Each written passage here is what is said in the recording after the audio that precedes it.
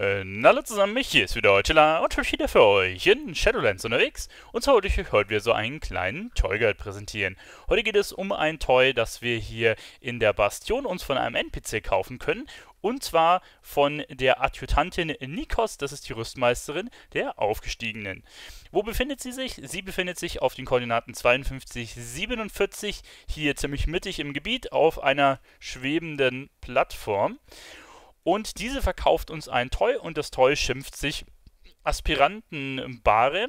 Und das werden wir jetzt uns mal holen. Neben dem Toy hat sie noch viele andere Sachen wie Rezepte, wie ein Wappenrock, Pads, äh, Gear-Items und natürlich auch ein Mount, das ich euch aber auch schon in einem Mount-Video gezeigt habe. Wir wollen uns jetzt einmal um das Toy kümmern. Und zwar, was macht das? Setzt eine Barre ein, um verwundete Verbündete bequem zu tragen. Dazu habe ich nämlich meinen zweiten Account schon mal hier rangecarried um dementsprechend das auszuprobieren. Wo haben wir die Aspirantenbare? Aspirantenbare. Die setzen wir jetzt hier einmal ein. Da ist sie. Und jetzt schaue ich mal, ob da mein Monk, der kann sich da drauflegen. Und jetzt kann ich die aber irgendwie nicht transportieren. Also die liegt da einfach, ich kann da leider nicht mit interagieren. Der Zweit-Account-Char, der kann da auch leider nichts machen.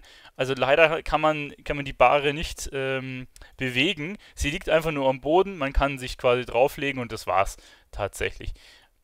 Ich dachte jetzt, das ist ein bisschen was anderes, aber sieht auch ganz schick aus, wenn man irgendwo ein bisschen RP machen will, ne? Für den einen oder anderen RPler vielleicht was Bare hinlegen und sich dann einmal ähm, draufschmeißen. Viel mehr kann man anscheinend nicht machen. Wenn ihr irgendwas rausgefunden habt mittels der Bare, schreibt es mir gerne in die Kommentare. Vielleicht mache ich auch irgendwas falsch.